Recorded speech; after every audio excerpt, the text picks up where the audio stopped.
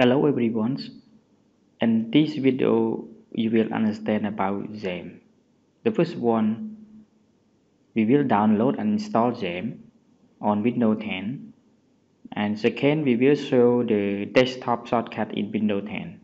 Actually when you install XAMPP in Windows 10 the shortcut is not appear in the desktop so you need to do some configuration and the last one maybe I will show you how to use a little bit about XAMPP so let's go to get together we start to download it. We go to Google. We type XAMPP download. And you will see the download XAMPP here. Click on it. It have anything it have any version that you can choose which one you prefer. In here I prefer the last the latest version for me. So the last one I download it.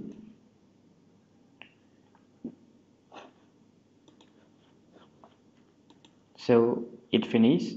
Now I show where the location file is so here is the XAMPP for Windows. So let's install it. Double click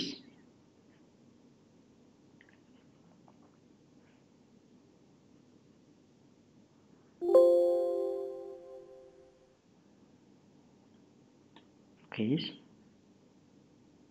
click next. I choose the default next. Next again. Next. Okay. So I click next again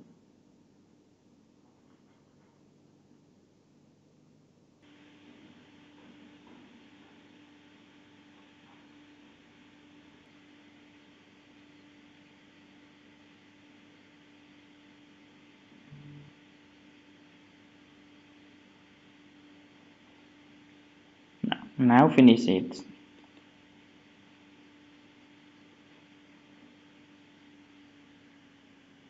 Okay here is, is the the latest version of XAMPP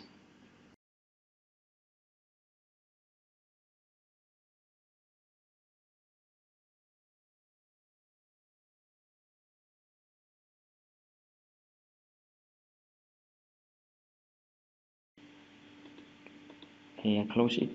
Actually when you after you install the XAMPP you see the shortcut is not appear in the desktop or in the uh, here okay? So you see you can see only here the reason it but for the desktop you cannot see it so I will show you how to show it.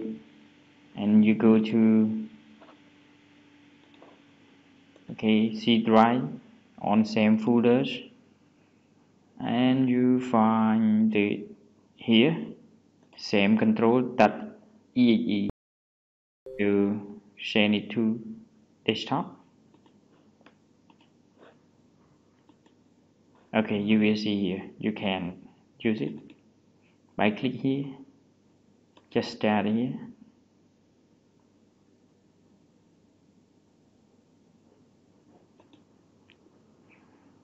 Keys